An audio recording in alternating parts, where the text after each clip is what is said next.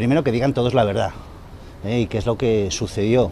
Y luego, pues bueno, yo me imagino que habrá alguna diferencia porque son diferentes eh, opiniones, diferentes testigos, diferentes percepciones, pero vamos, yo confío en que, en que todos coincidan en, en lo mismo y digan la verdad.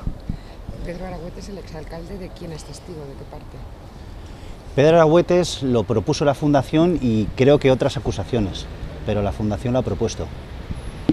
Manuel Escribano ha dicho que no tiene nada que ver el caso de las prejubilaciones millonarias de Caja Segovia con las de Navacaixa Galicia, porque entre otras cosas no recibió dinero público.